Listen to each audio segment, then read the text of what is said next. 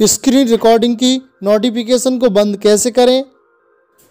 तो जैसा कि आप यहाँ देख सकते हैं, यहाँ पे मैं नीचे करूँगा। ये आप देख पा रहे हैं, यहाँ पे स्क्रीन रिकॉर्डिंग की नोटिफिकेशन इस तरीके से शो हो रही है। इसे मैं बंद करूँगा। तो इसे बंद करने के लिए आपको कुछ नहीं करना है, बस आपको इस वीडियो को पूरा देखना होगा। वीडियो को लाइक से चैनल को सब्सक्राइब कर देना होगा। तो चलिए शुरू करते हैं और बताते हैं। सबसे पहले आप अपनी मोबाइल की सेटिंग में जाएँगे। सेटिंग में जाने के बाद यहाँ पे आपको एक ऑप्शन शो होगा, जिसका नाम है ऐप्स। ऐप्स पे क्लिक करना है। ऐप्स पे क्लिक करेंगे।